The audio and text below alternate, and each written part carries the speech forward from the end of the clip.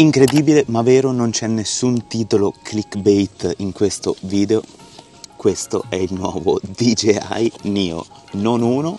ben due ancora sigillati e questo è l'Over Air X1, quello che di fatto ha dato vita a questo nuovo settore di droni. Andiamo a vedere cosa è e come rivoluzionerà il mercato DJI con questo nuovo micro drone. Nuovo video totalmente inaspettato, come vedete non siamo in Italia, è oltre un mese che ci troviamo nel sud-est asiatico, in questo momento siamo a Kuala Lumpur e totalmente a caso abbiamo avuto l'occasione di trovare in anteprima il nuovo drone DJI Neo e con il Merdeka 118 alle nostre spalle andiamo a scoprire insieme in anteprima il nuovo drone DJI Neo, nuovo selfie drone che dovrebbe spaccare totalmente la concorrenza, soprattutto quella che ha funzionato meglio di Over, mai avrei immaginato come da titolo di essere qui a raccontarvi in anteprima del nuovo drone di casa DJI. Avrei voluto pubblicare prima questo contenuto ma fino a ieri siamo stati beatamente alle isole Perenshan e quindi non abbiamo avuto grandi possibilità di caricare prima questo video. Comunque andiamo a vedere. Così tra durian, cocchi, umidità pazzesca e palazzoni giganti come questo, facendo qualche ricerca ho trovato un bel po' di negozi DJI. Qui in Malesia ci sono un'infinità di negozi diretti DJI, quindi DJ Store, e negozi indiretti, quindi normali rivenditori, ma anche negozi Hasselblad. Così chiedendo negozio dopo negozio se era già disponibile il DJI Neo, alla fine lo abbiamo trovato. Ma prima se vuoi supportare altri video come questo, iscriviti al canale qui in basso a destra, ma soprattutto questo contenuto è stato reso possibile dallo sponsor di questo video, NordVPN. E così dall'aeroporto di Kuala Lumpur, grazie a NordVPN possiamo aggirare la discriminazione dei prezzi e prenotare un volo super economico per andare a sbloccare un nuovo paese. Ci colleghiamo così al wifi dell'aeroporto, andiamo ad aprire NordVPN, ci geolocalizziamo in un posto favorevole e soprattutto mettiamo mettiamo a riparo la fuga dei dati. Ed è così che con soli 34 euro siamo riusciti ad acquistare un volo andata e ritorno, ma i vantaggi ovviamente non finiscono qui. Con NordVPN potremo lavorare da qualsiasi parte del mondo, anche qui, in totale sicurezza. Così anche noi, mentre siamo in ferie, possiamo finalmente aggiornare il nostro blog. Ma non solo lavorare in sicurezza da qualsiasi parte del mondo, ma avere anche la possibilità di usufruire di contenuti che sono bloccati all'estero. E quindi se vuoi supportare il canale, ma anche avere tutti i benefici di navigare online con la massima protezione possibile, clicca sotto, supporterai il canale, supporterai altri video come questi, ma soprattutto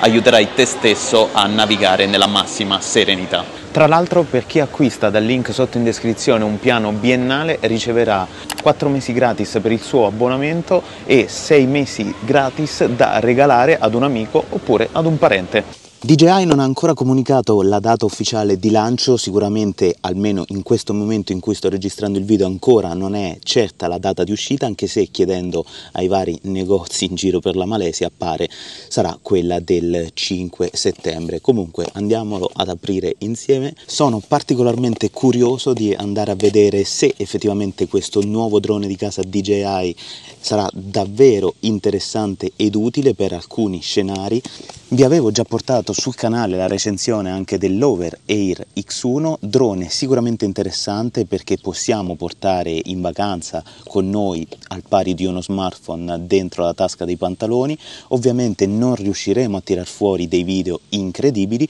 ma certamente dei ricordi di viaggio o di famiglia, quello che sia, certamente sì e senza nessun tipo di impegno con zaini strapesanti come di solito faccio io. Questo drone, chiamarlo forse selfie drone può essere riduttivo, notiamo già dalla scatola una serie di elementi molto interessanti, questa è la versione base da 199 euro e l'elemento interessante che vediamo subito qua dalla scatola è che riporta la marcatura di classe C0. Se seguite il canale, altrimenti iscrivetevi qua in basso a destra, attivate la campanella per non perdere poi anche il video completo della recensione, io avevo criticato particolarmente la marcatura di classe C0 soprattutto sul DJI Mini 4 Pro perché quello è un drone che mi deve dare la possibilità di volare soprattutto se sono in scenari collinari o di montagna anche a quote più alte rispetto al punto di partenza, quindi al pari del Mini 3 Pro che ho deciso di tenere per me. Ma in un contesto come questo, con un drone da 135 grammi, avere una marcatura di classe C0 che ci darà la possibilità di volare in qualsiasi scenario, anche di città, allora sì, lo accetto molto volentieri perché questo ci dovrebbe dare dei bei vantaggi. Ecco a voi ancora da spellicolare il nuovo DJI Neo sta davvero nel palmo della mano e è davvero carino già così. Contenuto della confezione molto basico, come possiamo notare d'altronde la versione base, non sono riuscito a prendere una versione combo e qua troviamo il classico astuccino con le eliche di ricambio e cavetto USB-C Type-C con il solito giravite che troviamo anche sui DJI Mini per fare il cambio delle eliche. Non rimane che andare a fare questo unboxing volante dalla spiaggia del DJI Neo.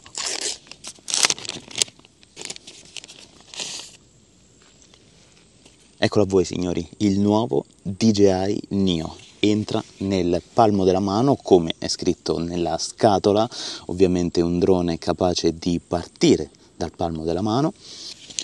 Qua vediamo subito sulla parte anteriore, esattamente come l'Over Air X1, tutte le modalità automatiche, i quick shot parlando in ambito DJI, che ci consentiranno senza utilizzare nessun controller e senza utilizzare app di portarci a casa delle riprese direttamente premendo e scegliendo la funzione di nostro interesse. Quindi potremmo fare un overing semplice, potremo fare l'inseguimento che tornerà molto utile, non vedo l'ora ovviamente di portarvi qua il test completo anche in confronto all'Over Air X1 e tutte le altre funzioni che abbiamo già imparato a conoscere sui soliti classici modelli DJI. Come possiamo vedere dal manuale l'app sarà ancora la DJI Fly app che è stata quindi aggiornata, ci sarà una nuova app dedicata a questo drone ma sempre all'interno della DJI Fly e questo è il tradizionale funzionamento che parte direttamente dal palmo della mano senza utilizzare nient'altro. Se vado a fare anche la scansione di questo QR code per i vari video tutorial ovviamente la pagina non è stata ancora trovata. 请先连接 DJI Fly App 激活飞机。Connect to DJI Fly to activate aircraft. Abbiamo per l'occasione un sensore da 0,5 pollici come era il vecchio DJI Air 2 e questo ci consentirà comunque di portarci a casa delle riprese tutto sommato buone. Sarebbe interessante in realtà capire se un drone da 135 grammi riuscirà a sostenere il peso di una GoPro Naked perché in ambiti indoor un sensore del genere mi convince un po' meno, soprattutto se stiamo approcciando quel volo per finalità lavorative. Qui abbiamo i paraeliche, paraeliche che possono essere rimossi facilmente tirando su e vanno ad incastro.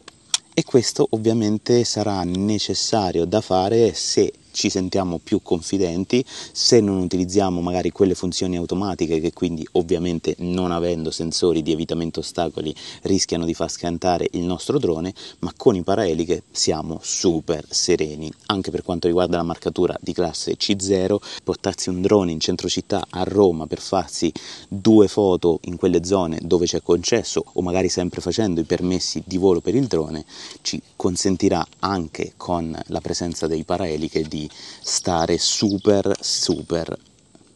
sereni. Ed eccolo qua. Questo è il drone da un lato come sarebbe senza i paraeliche e dall'altro con i paraeliche. Ovviamente la batteria è microscopica in linea con tutto il resto del drone, ma che dovrebbe garantirci minuti a sufficienza per realizzare tutte le nostre riprese del caso. Ovviamente nella versione combo ne sono tre, il costo della singola batteria dovrebbe girarsi intorno ai 35 euro credo, poi sto facendo le conversioni con la moneta malese, quindi con il ringgit, però più o meno dovrebbe essere 35 euro. Qui invece sul lato possiamo notare la marcatura di classe C0. Ora non so se con il sole è sufficientemente visibile, comunque è qua, esattamente qua. C0 zero e questo ovviamente ci darà tutti quei benefici tipici del nuovo regolamento europeo. E se da un lato possiamo certamente affermare che DJI si è lasciata come minimo ispirare dall'Over Air X1, dall'altro però possiamo assolutamente dire che Over ha lanciato un nuovo concetto di droni sul mercato. Tra l'altro, pochissimi giorni fa, proprio per contrastare la nuova uscita del DJI Neo, Over ha lanciato l'ennesima campagna di crowdfunding su Indiegogo dove ha lanciato i nuovi modelli Over Air X1 Pro e Pro Max. Due droni certamente molto interessanti, soprattutto il Pro Max perché il Pro ha un sensore da 0,5, il Pro Max invece ha un sensore come il Mini 4 Pro da 0,76 pollici e ci permetterà di fare tantissime cose, soprattutto con l'utilizzo del beacon che ricorda un po' quello di Skydio 2 e che dovrebbe garantirci da un lato un tracking perfetto, dall'altro anche la possibilità di trasformare il beacon in un controller e quindi avere di fatto in mano un drone quasi normale ed è qui forse il passo in più che ha fatto DJI perché da un lato il prezzo, il prezzo batte a mani basse over, pensate che questo che è il modello vecchio lo trovate ora su Amazon intorno ai 400 euro mentre la versione base, e questa è sempre la versione base a 400 euro, la versione base del DJI Neo come vi dicevo prima a 199 euro. L'Over Air X1 Pro Max invece arriverà a costare nella versione combo oltre 1000 euro, che io ritengo essere una cifra folle per un drone che ci consente di fare poco più che dei banali ricordi con movimenti automatici, quindi per quanto super interessante, per quanto super comodo da portare con sé in viaggio dentro la tasca dei pantaloni, ma spendere più di 1000 euro per un drone di questo tipo con un sensore come quello del Mini 4 Pro, ma che non mi dà la possibilità di fare tutto quello che posso fare con il Mini 4 Pro, a mio avviso ha poco senso, a quel punto preferisco puntare su un classico Air 3, Mavic 3 e via dicendo. E quindi se da un lato DJI si è fatta prendere un po' la mano con degli spunti certamente simili, banalmente guardate i tasti per accedere alle funzioni automatiche dell'uno e dell'altro, però c'è da dire che forse DJI ha mantenuto un po' fede a quella che è la sua logica in ambito droni e ha cercato di dare di più. Cosa ha cercato di fare quindi di più rispetto ad Over? Al di là del prezzo, ma questo è dovuto anche alla possibilità di mercato che DJI ha e che Over non ha, abbiamo la possibilità di controllare il nostro DJI Neo con il classico radiocomando DJI, quello base per intenderci, ma soprattutto avremo la possibilità di connetterci con i nostri visori, i DJI Google 3, quelli lanciati con Avatar 2. Sarà da vedere poi con gli aggiornamenti firmware che arriveranno, in questo DJI è sempre un po' eh, furbacchiona, mettiamola così, sarà da vedere se poi anche i precedenti modelli saranno compatibili. Io ad esempio utilizzo Avatar 1, come sapete, utilizzo i DJI Integra e non ho nessun tipo di voglia di passare ai Google 3. L'altra particolarità è che non abbiamo la scheda SD da poter inserire perché ha a bordo una piccola parte di spazio disco dove poter registrare.